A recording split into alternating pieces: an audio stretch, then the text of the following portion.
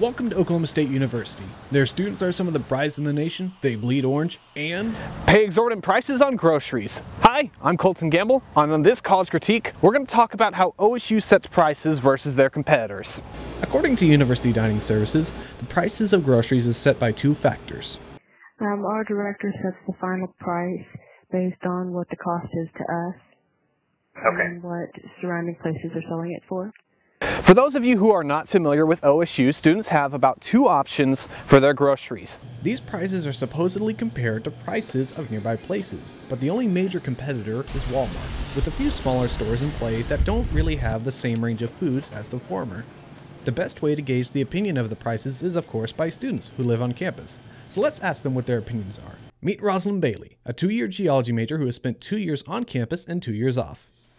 I just remember I had to pick and choose what meals I wanted to eat because I only had so much I could spend a day because everything was so expensive. Another student, Andrea Nish, is currently spending her third year on campus, and she says that may be due to their proximity. Um, I feel the prices on campus are definitely higher, but it's more convenient than going off campus sometimes. Of course, what viewer would take just opinions to sway them? Maybe these students are privileged? Well, that's not the case. Let's compare the prices of groceries on campus versus Walmart. For example, just for produce, this red delicious apple costs 127 per pound at Walmart. How many apples on average can be in a pound? According to Kircher's Orchard, a pound is about 4 small apples, 3 medium, or 2 large. OSU sells a moderately sized one, so let's say it takes 3 apples to make a pound. The price of an apple at 20 something is 99 cents per apple. In other words, an increase of about $1.80. Oh, but it doesn't stop there for items that are produce. Many items at 20 something reach much larger differences. For example, a single stuffed Oreo package is worth $3.50 at Walmart. At 20 something, double that to $7.09.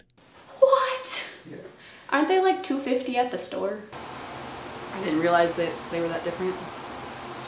In fact, the average difference in prices of items was around $3. $3! That's basically saying you could buy the second me at Walmart's.